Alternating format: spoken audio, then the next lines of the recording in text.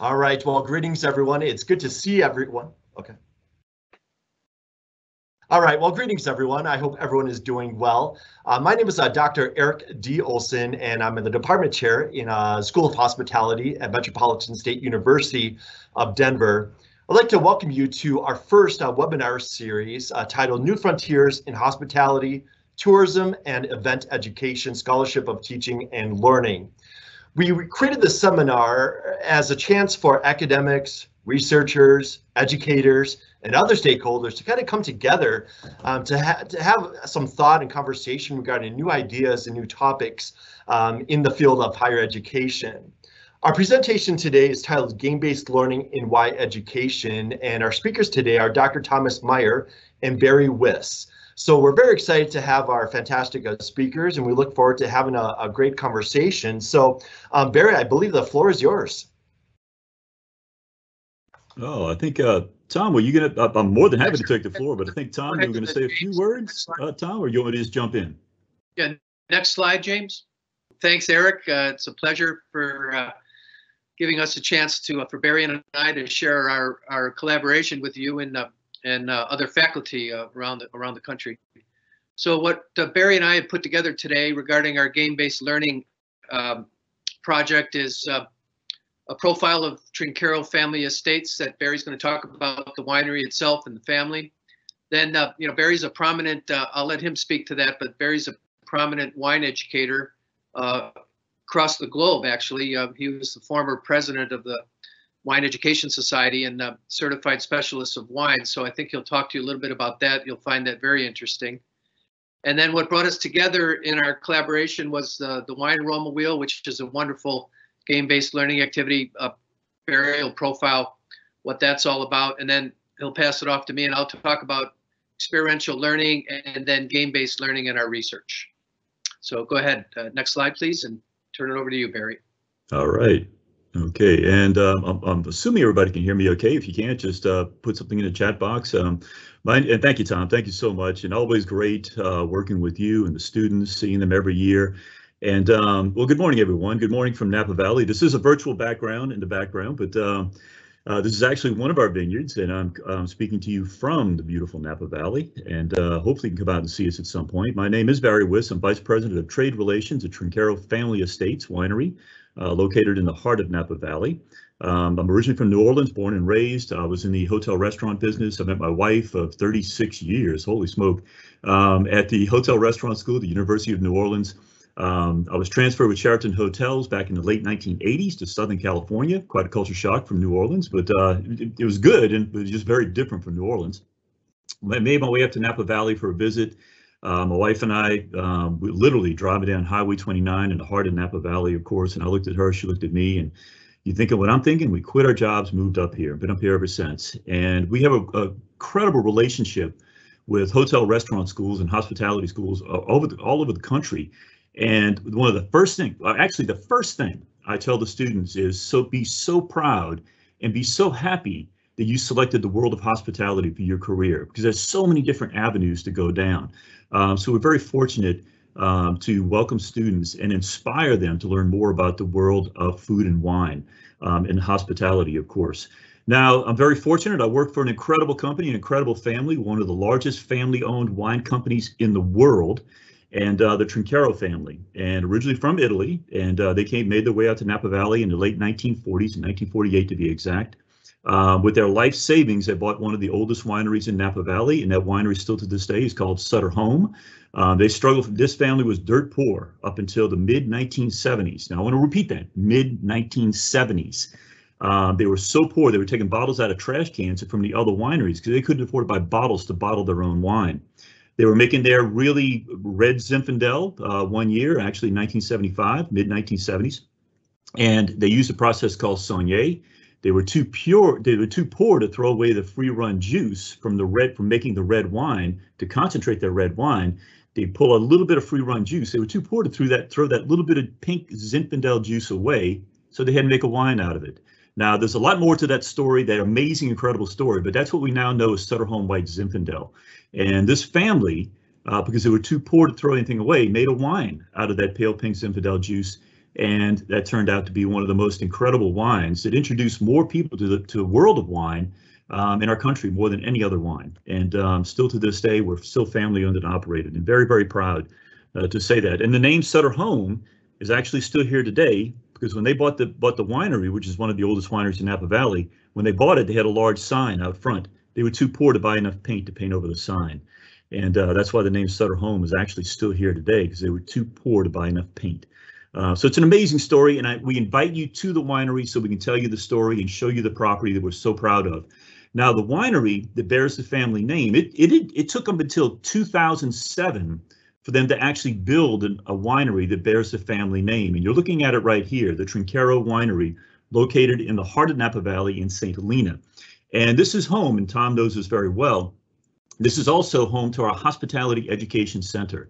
Because we're such a large wine company, we welcome wine professionals from all over the world, literally all over the world. Um, and they come here. This is our picture of our winery, but we have another area that's our Hospitality Culinary Center. You'll see a picture of it coming up a little bit. And um, this is solely for our partners in business and our specially invited guests like Tom and the students that come every year. And um, so this is where we have our education programs, our certification programs, our culinary programs, and of course our hospitalities uh, program that we have there as well. Um, so now a little bit about um, our education program. And when I joined the winery, I've been there close to 27 years now. And my my all of my background was in restaurant, hotel, hospitality, on premise, of course, in restaurants and fine dining, for the most part in fine dining. And when I joined the winery almost 27 years ago, we were really just Sutter Home. And nothing wrong with that, but Sutter Home, of course, is a grocery store brand for the most part. 90% of it plus is sold in, in retail, what we call retail, of course, off premise. And so when we decided to get into the restaurant world in ultra premium, now we own over 70 different brands, 70 different brands.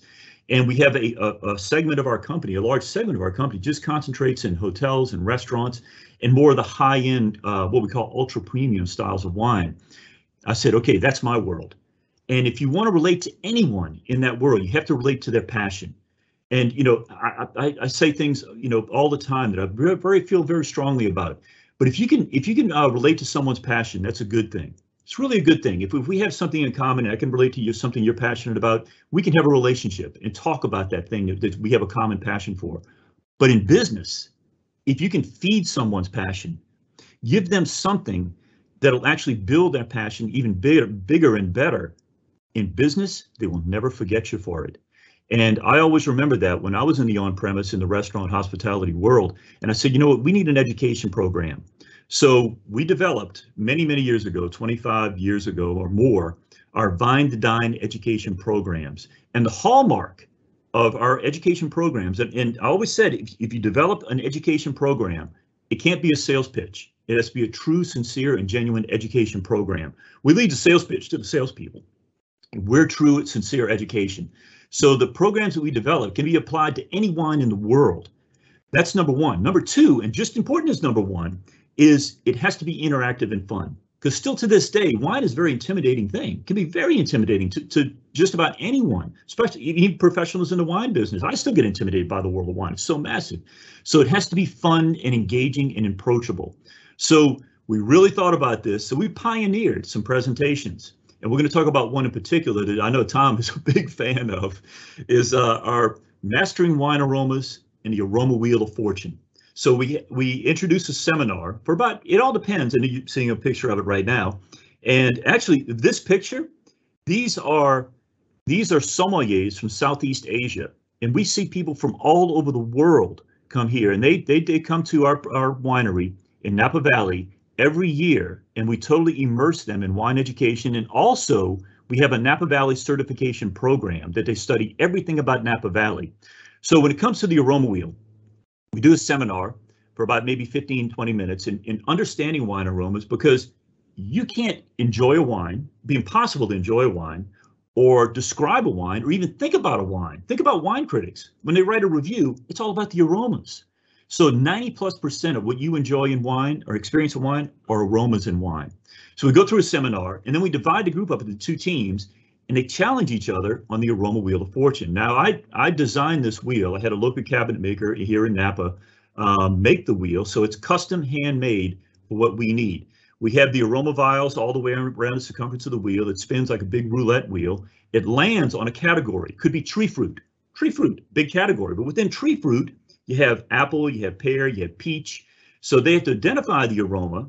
And then after they identify the aroma and can relate to that aroma in wine, then we ask them, what kind of wine is characteristic of that aroma? So we're not only building their um, recognition of the aroma, but also their vocabulary in describing a wine to a customer. So and it's very fun, very interactive. We have we've actually had people start gambling on the wheel. We don't we don't promote that at the winery, but people actually start gambling on the wheel. We don't, uh, but that's how much fun they have. And uh, and Tom, you know I can talk people's heads off, so please use the virtual hook um, if you need me to stop. But um, anything else I'm leaving out, Tom? Anything else you want to touch on at this point? That's great. Maybe talk to them about the uh, certified specialist of wine uh, program, possibly. Yes, yes. As our education programs evolved, you have to understand when I started in the world of wine, certification, whether it be with the Court of Master Sommeliers, Society of Wine Educators, WSET, and those are the three big organizations in the world as far as professional wine certification. And when I started, it, it, you know, 27, 30 years ago, um, people would say, oh, you have some kind of certification. Well, I don't know what that means. It means something, but I don't know what it means. But now, in, over the past maybe 15 years, if you don't have some kind of professional certification and you call yourself a professional in the world of wine, and it goes true for just a lot of industries, it's expected now. It really is. So about 15 or more years ago, uh, we formed a, a, very strong alliance with the Society of Wine Educators. Um, and it's the largest, one of the largest wine education certification organizations in the world. We're based in Washington, D.C. Um, I've been on the board of examiners, board of directors, and I was actually the president of the organization a period of time. But the CSW program, we sponsor many thousands of peoples over the years, industry professionals and also students in hotel restaurant school. Um, so it's professional certification. We help students, especially, to build their resumes before they get into the professional industry. Um, so we're very proud that we'll be able to uh, offer that. And Trinchero's are very generous, very, very generous. And uh, so we're very proud to be to have the opportunity to do that, especially for students who are starting their careers out and have that fire in their eyes to learn more, especially about the world of wine. Thanks, Barry. Uh, appreciate that.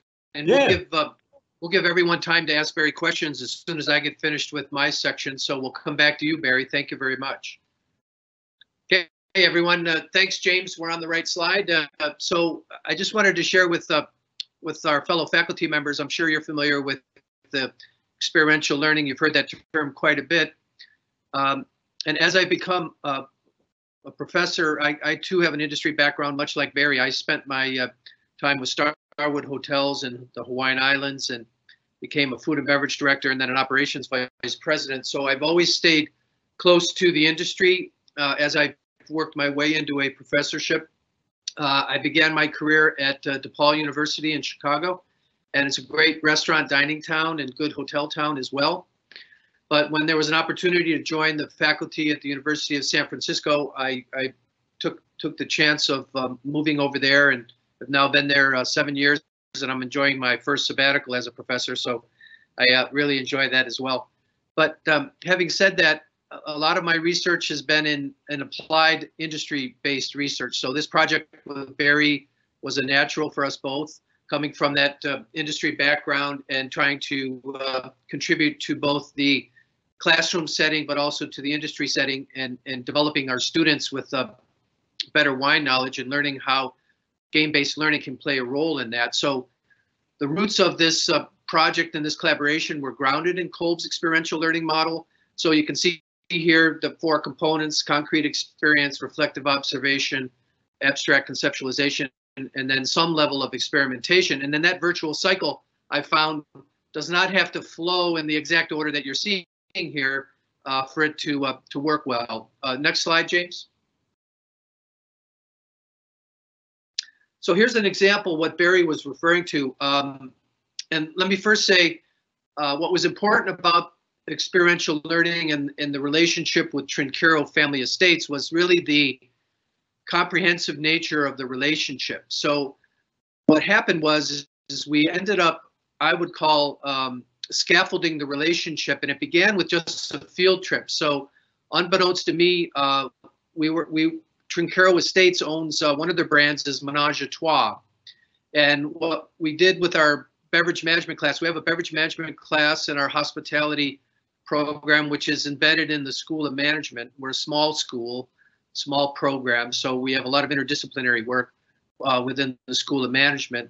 Uh, we took each semester, we would take 25 students on a bus ride uh, to Napa Valley, and we would visit a winery, do a tasting, and then come back to campus. So we were we were going to uh, Trinchero's brand Menage a Trois, which is a nice uh, nice vineyard and very active uh, facility where you could go out and sit on the lawn and kind of um, have a tour, play some games, and relax in a social setting, very informal, and do the tasting events. But one of Barry's frontline hospitality professionals uh, reached out to us and just said, "Hey, which school are you from?" We said University of San Francisco. They said, "Oh, that's great. We love seeing you. Uh, but by the way, we have a a uh, wine education program, and let me put you in touch with Barry." And then next semester, we met with Barry. Barry said, "Hey, come on over to our culinary center," and they graciously uh, expanded the field trip uh, experience to a wine cellar tour, to a vineyard tour, uh, to the wine education programming, and then a culinary luncheon that was prepared by the chefs there at the uh, culinary center that you saw in the picture. So gradually, that relationship built into uh, um, semester visits twice a year, and then from there, we decided that we should start collecting some data and research on the Aroma Wheel game. Barry introduced us to the Aroma Wheel uh, of Fortune, and then they also came up with this other game here called the Tongue Fu Challenge. And the name there from the vineyard is that they actually take the students that you see in the picture and they they try to teach the students how to identify off aromas, right? So as Barry was mentioning the wine aroma wheel, there's primary aromas, secondary wine aromas, off aromas, and tertiary aromas. So the Tongue Fu Challenge game was designed to have the students actually locate and identify the off aromas that were in the wines. So as you can see here, I, I identified which Kolb's uh, components uh, fit with the activity. So the concrete experience would be classified as the tour of the vineyard. The uh, reflective observation was the aroma wheel game. So you would reflect on what you learned. Barry had mentioned there was the lecture, but then you would reflect on that lecture and then you would actively um, experiment with either the guided tasting or the aroma wheel game itself. The aroma wheel game was both reflective observation and active experimentation. And then when we got back to campus, the next lecture that, that we would do um, after the tour and the vineyard experience and the aroma wheel game was abstract conceptualization, which is then the students would take what they've learned and they would do a menu and wine pairing uh, programming and they would each come up with their own menu design with the pairing. Next slide.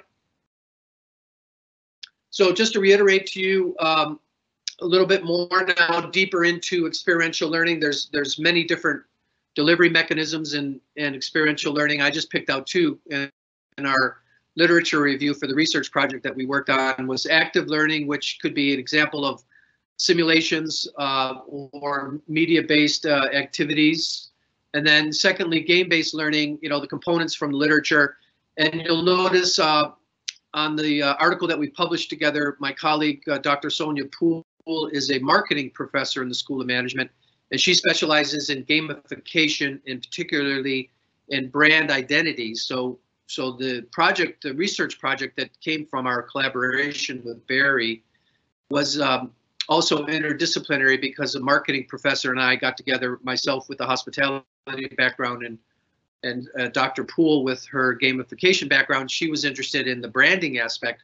And you'll see in a moment, we, we wove into the research questions intention to do business with the brand to satisfy her desire in her research area. But having said that, the game-based learning components that are important in, in terms of, um, of the pedagogy have, have to reflect elements of an immersion. So you can obviously see that the trip to the vineyard was immersive there needs to be points. So as the way Barry created his aroma wheel game, each team splits off and you answer, you spin the wheel, you try to identify the aroma in the vial. And if you can get the aroma correct, you get five points. If you don't, the other team can guess and steal the five points. So that that was consistent with game-based learning and points. And obviously, that's the competitive part. You could. It's really interesting to see the students competing with one another. As Barry mentioned, they started doing betting. Our none of our students did that, from what I can see. Uh, maybe they were doing that behind the scenes. But the competition seems to generate when you observe the um, the game-based learning activity itself. The competition seems to and heighten engagement levels and excitement levels and participation levels. That's something that I observed over the course of doing these uh, experiments. And then the social interaction is wonderful. You get to see that uh, throughout the day when you're immersed at the vineyard in the Wine Education Center. But most importantly, you also see the socialization taking place within the game itself between and among the team members.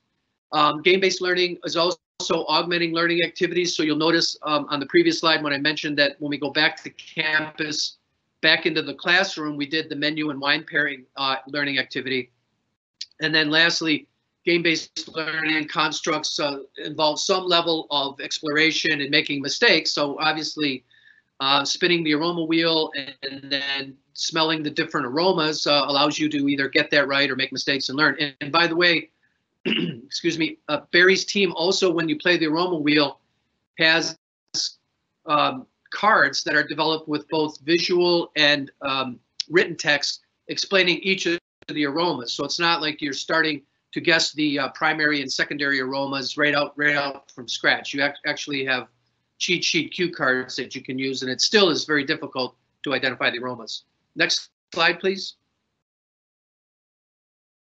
Okay, so as I mentioned earlier, uh, Barry and I really hit it off well, and his team uh, uh, uh, was very receptive to our, our frequent visits to the property. So we spread out the uh, the research project. I proposed, why don't we write up a paper on this? And Barry was uh, happy to do so. And you can see that my colleague, Dr. Sonia Poole, from the marketing department in the School of Management, myself, Barry, and Barry's colleague, Susan Smith, who have since retired. Susan's a wonderful example of hospitality in action, probably the warmest and most welcoming uh, hospitality practitioner you'll ever meet in your life and very knowledgeable. So the four of us got together and we we we wanted to do this uh, over time. So basically, we took classroom size of 25 students per semester and we spread it out over about six semesters. So we alternated each semester.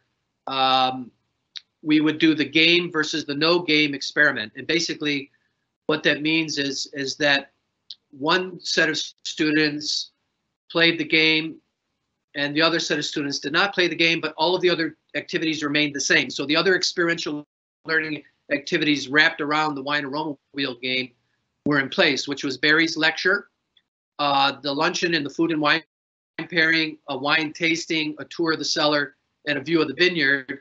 The only difference for the game students was we inserted the aroma wheel game into that into that uh, field trip.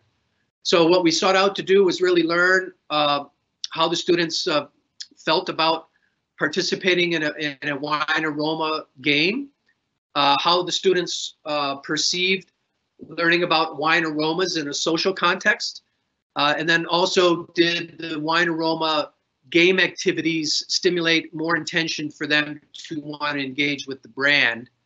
Uh, so those were the three underlying research questions. We got a sample of 154, and again, that was spread out over six semesters. Um, so this this took, uh, took three years. Um, and then we used survey instrumentation. We had 19 questions on the survey. Likert style uh, uh ordinal scale was used to measure. And what we were looking for was the attitudes and the learning and brand management. And again, comparing game participants versus non-game participants. And then we used a uh, bipolar normalization scale to uh, to uh, measure the Likert scale um, responses. So we used a normalization scale of minus two, minus one, zero, plus one, plus two. Next slide. So very simple t-test that we ran just to compare the mean scores uh, out of the uh, the total survey responses in aggregate. So you can see here that social context game versus no game showed um, a higher mean score, a 149 versus a 132. Intent to do business was a 1.20 versus a 1.17. Next slide, please. And with respect to the research questions we sought out, you can see that 44% of the game participants, remember we had, we had um, most likely strongly agree, et cetera, on the bipolar uh, Likert scale versus 25 point, about 26% of the non-game participants felt strongly about the um, desire to learn about wines uh, in general. The second research question regarding the game versus no game in terms of participating in the social context, again, was similar. 48% of all the respondents that played the game felt that um, a stronger desire to learn about wine in a social context versus those that didn't play the game. And then lastly, regarding engagement with the brand, uh, intention to do business. And remember, I thought this was interesting, is that both groups, the non-game and the game participants, were immersed in the in, in the winery experience. So they had the same experience, but for playing the game. And you can see the difference between the game respondents versus non-game in terms of their desire to do business with Trinchero Family Estates in the future. Okay, I think uh, that's the last slide. I think we can open it up for questions if you'd like for either Barry or I. Absolutely wonderful. Uh, thank you very much uh, for your presentation. Uh, folks, um, if you do have a question, um, go ahead and, and ask the question in the live event Q&A, and we'll be kind of monitoring those questions, and I'll kind of relay those questions um, to everyone. But once again, folks, if you do have a question, go ahead and add it to the Q&A uh, section, and we'll go ahead and kind of kind of ask our, our, speakers about those questions. Um, while folks do have a chance to answer those questions, um, let me start off with, with one. I was kind of curious, if you can kind of talk a little bit about, you know, um, you know, doing a collaboration. Um, I, I, think many of us would absolutely love to partner with an industry, you know, uh, practitioner in terms of our, our research, but we're not exactly sure how we should do that. Um, I was just kind of curious if any of you, either of you have any uh, suggestions or tactics on, on how we can do that. You want to go first, Bear? You know, Eric, I'm sorry, my dog was barking. They're blowing. They're, they're doing the lawn out here right now. Uh, but you run your question past me again, please. Oh, sure, absolutely. I was just kind of curious. I was curious uh, if you could comment on, you know, how one could actually partner with industry, you know, for a, a research uh, a project. I think many of us really want to, you know, partner with, um, you know, practitioners and and industry for some of our, our research projects, but we just don't know how to do that. So I was curious if you have any best tips or suggestions on how um, academics or professors could actually do that. You know, um, I think what the relationship that Tom and I have, um, and then we have connections with people all over the industry. Um, you know, uh, a company such as Trinchero, we're, we're, large. I mean, we have we have relationships all over the world. Um, so I'd say a supplier like you're working with us right now uh, could be the conduit um, to, you know, just about any kind of industry, whether it's on premise, off premise, uh, wholesaler. Uh, we have relationships with all of them, very strong relationships. And I can tell you that, uh, you know, in working many years with with all of these segments of the industry, um, I think they jump on the opportunity to do something like this because I, I, you know, the what Tom has found in what we do is it makes us feel really great. I mean, this is great research and it's also letting us know we feel like it's effective, but to actually see it um, and, and prove that it's effective and what we're doing, it, it's it's a wonderful thing. So I mean, we could be a conduit, um, more than happy, any kind of supplier um, to any degree. So I'm happy to help. Happy to help. Yeah, and Eric, I would just add, um, I think a couple things. One is going to be proximity and access, right? So it has to be easy. I, I think it has to be easy for the industry uh, partner to want to participate. So it's respecting their time that they're they're very busy. You know, they have a full time job and they're very busy. So what I try to do is I try to understand from an empathetic standpoint what kind of value that I, I can offer to the practitioner uh, industry practitioner without disturbing their workload. So I, I kind of pitched that I'll do the heavy lifting, which is what I did with Barry. You know, I said, and then I, I also thought Barry Barry would value um, being on a publication, all the work that he's done and his creative thinking, and having someone steer him through that and work with him. And, and he provided the access, he provided the, the training, he provided the venue. And then I had to construct the project, the research itself. So the key there is also making sure that you keep it simple enough but meaningful enough because as you know as fellow professors it has to be have some rigor to it to get published so there's a there's a tug of war between what can i do that's that's applicable to barry and makes sense that he's willing to give a little bit of his time versus what I can feel uh, can get published. So that, that's the balance. And then really promising to do the heavy lifting is the key. Great, wonderful. And once again, folks, um, if you did have a question, um, feel free to go ahead and add those in the, the Q&A section. Um, and, and maybe I, I have one kind of one other question. I was curious, what's the next step in this in the stream of research, if there is going to be, or or any suggestions for kind of some future ideas or for some uh, future streams of research in, in this area. Barry, I don't know if you have any thoughts on that or, or, or maybe here's another way to ask you as an industry practitioner, what are some other avenues of research that we should be looking at in kind of the beverage world? Uh, um, I was curious if you have any, any ideas or suggestions for some future ideas, you know, kind of the research in this area that we should be looking at. Um, wow. You know, I, I think that food and beverage professionals, I can speak from my own experience, I think what a lot of us can, is people don't realize that, you know, we love this industry, we love what we do, but it, it, at the end of the day, it's still a business. We need to make money. So I think some kind of emphasis or some kind of study on the profitability of a successful wine program or an express or, or, or, or like a, a, a, cocktail program uh, within an industry. What kind of, especially right now, um, you know, these uh, restaurants need to make profit. Um, so the profitability of a, of a successful beverage program and an adult beverage program, um, I think more attention needs to be given to that in the schools. Um, because I can tell you when when I was in well this was many many years ago good lord decades ago but um, there was really very little of that very little to show true profitability um, and what to do to make that profit um, and, if, and beverage of course we know we make a lot of money on beverage um, and I think it needs to be driven more. That needs to be uh, emphasized more. Yeah, I would add, Eric, um, one of the other things that we've done with uh, Barry too in that scaffolding the relationship is uh, I mentioned earlier that I that I'm in the School of Management, so I also teach in the MBA program, and I teach uh, business modeling and design thinking, and we ended up pitching experiential learning projects to Trinchero uh, regarding any projects that our MBA students needed to do in the business modeling class, and, and Barry introduced us to their spirits division. So we did two other projects with them. The spirits division wanted to know um, consumer behavior feedback on their packaging and on the branding.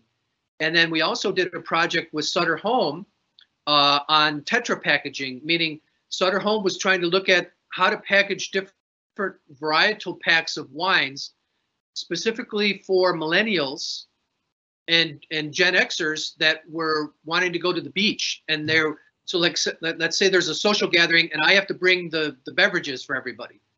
Well, do I pick a white wine, a red wine, or a rosé? Well, what what Sutter Home wanted to know was what happens if we do a mixed six pack and we put it in a Tetra Pak and we put one of everything, a Sauvignon Blanc, a Chardonnay, a uh, a, a rosé, and all that. So um, I would suggest other areas would be generational perceptions from a consumer perspective on on the consumption of wine, right? Yes. Next, you know, Gen Z is coming that way, right? They're going to be of age uh, fairly quickly here, so they'll be the next generational cohort. So I, I would think generational and then also consumer marketing would be interesting areas for further research.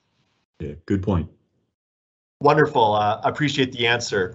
And then lastly, my final question, this is probably the most important question, as you know, most of the, the country kind of heads to the fall autumn season, um, at least in, in Colorado, temperatures are a little cooler now and, and a little less light in the evening. What wine should I be drinking? You know, it, it, we always say any wine that you enjoy, any time of the year. But um, but it's seasonal for me too. I drink a lot of a lot of white wines, rosés, of course, during the uh, during the summer months. But um, but you know, I love my you know Pinot Noirs and Cabernets and Merlots and you know during the winter months. Um, but you know, my wife is a professional chef. She's classically trained Italian chef, and um, so you know, I I I pair my wine with food always, always. Yeah. So anything never, you want to drink. I'll never turn down a glass of Bordeaux, Eric. Yeah, Wonderful. that's true. Yeah. Very, very good. Spanish wine too. Spanish wines don't get enough attention yep. and, and they're growing in popularity and for good reason. Enjoy some great wines from Spain, from Rioja, from Rias Baixas. Um, beautiful, beautiful wines. Wonderful. Very good. Well, well, uh, uh, Barry and, and Dr. Maier, I want to thank you very much. Um, this was absolutely fantastic. We do have one question. Oh, yeah. yeah. Um, could you talk about students' learning curve on the game? Go ahead, Barry. You go first. Yeah, you know it's it's you know, and it's it's a great question because um, we take our our sense of smell for granted, and we have this wonderful gift. All the gifts we have, our sight, smell, taste, everything, and people don't realize how. And and Tommy even actually uh, mentioned it, how challenging it is because when you think about all the aromas, we have the gift of sight, so we call it uh, sight bias. If you see an apple, it's like I don't even have to think about what an apple smells like. It smells like an apple. But somebody who doesn't have the gift of sight has to really challenge themselves to say, okay, what is this? An apple, a pear, a peach? Um, so the learning curve, I'd say, you know, and I've seen groups come out multiple times to play the aroma wheel of fortune. And after a while, probably about maybe a third time, fourth time, they get they get a, a comfort zone with the fundamental aromas in wine, like the foundation aromas in wine. And when they get that that foundation built of those those wine recognitions, then they feel more confident and they can build on that foundation of really recognizing those core aromas in wine. But it takes, as far as the learning curve, it takes several times. It takes maybe three or four times, half a dozen times, depending on uh, depending on the person. Now, for chefs, because chefs work in the kitchen they, they have to they have to be really acute with a sense of smell and something smells something smells good or smells off or um, chefs immediately i mean they take to the game and they love the game because they're very good at it. So they can really detect aromas because they're around produce they're around different aromas. Um, so yeah it's a great question um, but there is there's quite a learning curve. It really is. Yeah that's a great question. I'll, I'll just add um, you know that question's fascinating in, in many different areas but I'll say that what's interesting is some, and believe it or not, in the composition of the student in our classes, because we're a small program, we open up the class, um, we'll take 15 hospitality majors and we'll open it up to 10 uh, other students from the whole campus as a whole. So we'll have non-hospitality students in there with hospitality students. And it's interesting, if you get biology students, we get chemistry students, we get nursing students, and I was trying to determine, and if I were to do future research, I probably would have bifurcated to understand in the data collection how the responses were if we we asked them their major. But um, keep in mind that some students, and we have international students too. So we have, and we have a very University of San Francisco is a, I think we're rated one of the top diverse uh, student populations in the United States. So we have a very diverse student pop population and some of the students, international students, it's the first time they've ever drank wine. So, so our class runs six weeks. It's a two credit class. We get into wines. Uh, it's, you know, we break the class up into beverage beverages. We do spirits, beer, and wine, and then non-alcoholic beverages. So their first introduction to wine may be in the lectures in class before they go on the field trip. So some of them have never drank wine very much. And then secondly, to the point of what is the learning curve, that, that really brings to the forefront what we're, we're seeing now is how do we become more, more inclusive in the classroom?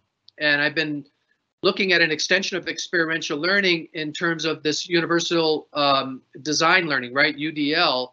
So we're trying, if you if you think about how the different learners are going to want to be included in that experience, how do you design the syllabus and these activities around that. So I think this issue of um, inclusion can can have an impact on the learning curve, despite the fact that learning about aromas is very difficult. How do we take in you know, universal design learning into the into account when we do a topic that that uh, is is highly technical to begin with. You know, Tom, you brought up something that's really interesting, and we've been doing the aroma wheel presentation for about 25 years now.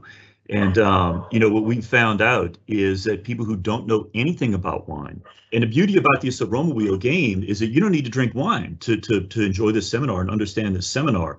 And the people who do best have no have no complication when it comes to their. It's like, oh yeah, it's an apple. It smells like an apple. Those are some of the some underage underage the people who can't even drink. Um, they're more uh, apt to get it correct before uh, for somebody who drinks a lot of wine. You know, crazy, but it's true. Yeah. Yeah, very interesting. Uh, Dr. Maier, another question popped up about teaching, so I'm going to direct this question to you. Um, how would the, you know, the kind of the, the, the game element be applied into the online environment?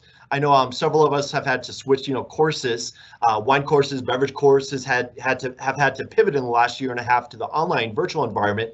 Any thoughts how how how that could be applied? Yeah, I thought about that myself because I had to teach the, these two beverage classes online, and it was very difficult um, without the interaction, right, and without the ability to taste. But but two things I did look into, and I should have called Barry to see if Barry Barry's a great educator. He, he probably would have come up with a mini wine aroma wheel, uh, a fortune game. But I actually looked to see if I could deliver that online, and it and um, there's some games that you can play with um, bingo there's some wine bingo games that you can play, but I stayed away from them because I didn't want to reach out and, and, and navigating the Zoom environment. I wanted to be careful not to be fumbling around and, and understanding what I could be doing technically with with uh, with what I wanted to do with the learning. But one thing I did discover is uh, there's a company called Vinebox, V-I-N-E-B-O-X. And what I did was you could buy a package of, oh, hang on, let me show it to you.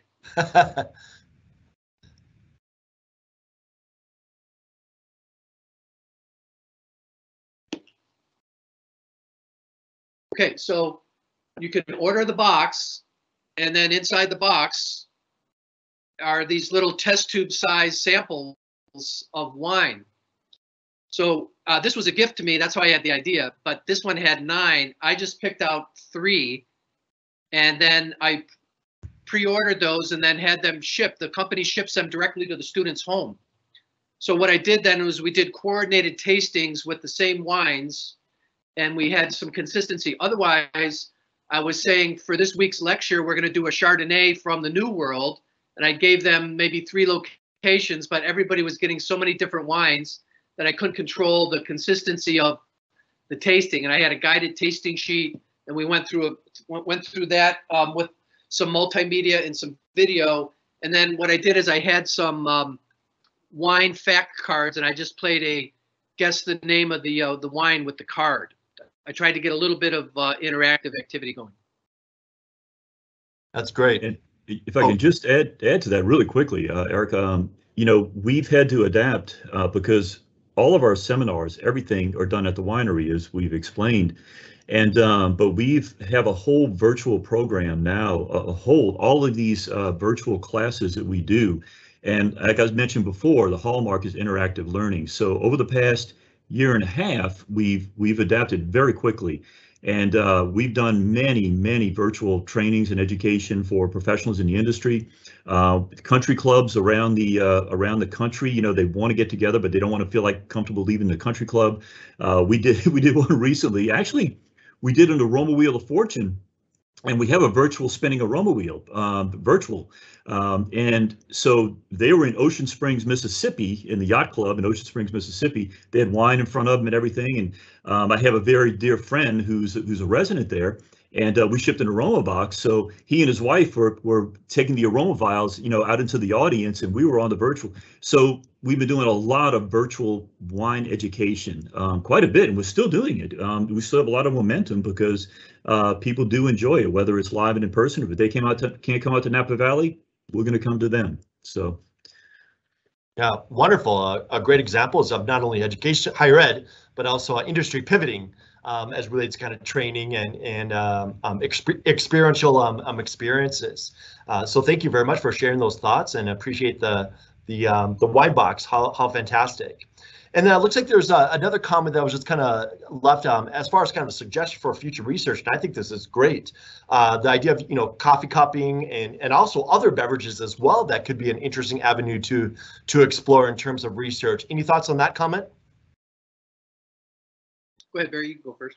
Yeah, I, I absolutely. Um, you know, of course, wine is is is a very very complex beverage. As simple as it is, it's just, it's, it's just fermented grape juice but it can be a very, very complex because, you know, a wine is not only a reflection of the grape variety, but also the place where it came from.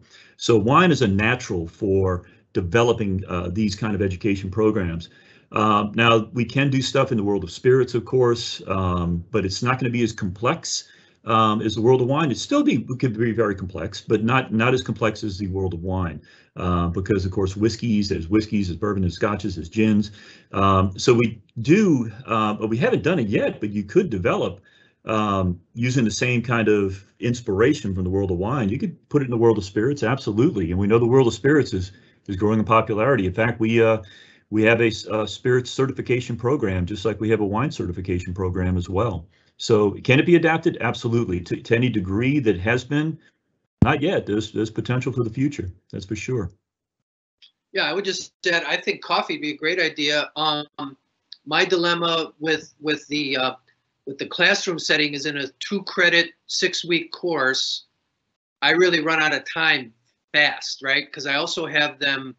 We take we we skip a class to go on the field trip because the field trip ends up being an entire Saturday because it's a two hour drive each way. So that's four hours. And we're about two hours at the vineyard. So um, I struggle with having enough time in a two credit class to, to really dive deeper into coffee. Um, I will share with you that when we get to the spirits section, the students are less interested in trying to um, identify aromas with the spirits. And I use the eyedropper to try to put the water drop in there to get, but the students respond most to experimenting with, with spirits and infusions. So we'll take a we'll take a bourbon and, and actually put uh, some juniper berries in it and let it sit for for a week or two weeks and see if they can make an old fashioned and what does it do to the taste of the old fashioned by experimenting. So in terms of the classroom, that's what happens. In terms of my own research, I would think that the uh, we're seeing a lot of experimentation with industry now with a lot of seltzers and and and um, and beer beers and uh, spritzers and you're seeing a lot of inventiveness I think with with uh, beverage product and then I always wanted to get to if you were to ask me where I would go I would go to the health I tried to go into the health aspects of alcohol which I'm always shunned because how can consuming alcohol be healthy but I think there could be some health benefits and or getting into plant-based diet and looking at that from a research standpoint. Wonderful. Plant-based, plant-based spirits, right? You can get into you can get into that. That's great. Wonderful. Fantastic suggestions. Really pre appreciate uh, both of your your uh, insight. All right, well, very well. Uh, Dr. Maier and Barry, I want to thank you very much for uh, taking the time out of your schedule to come and, and talk a little bit about some new ideas in, in higher education. Uh, really appreciate your insight and your valuable ideas for our own research agendas and, and um, ideas for the classroom. So thank you very much. Really appreciate it. My pleasure. Welcome, Eric. Thanks for putting this together. What a great idea. And yeah. we appreciate the invitation. Good work on your part. And uh, if anyone wants to reach out, we're happy to consider any collaborations in the future too. Absolutely wonderful, and that's exactly why we're doing this, just for a chance for us to kind of for all of us to come together and start having these conversations. Thank you, everyone, and I hope everyone has a good day. Bye now.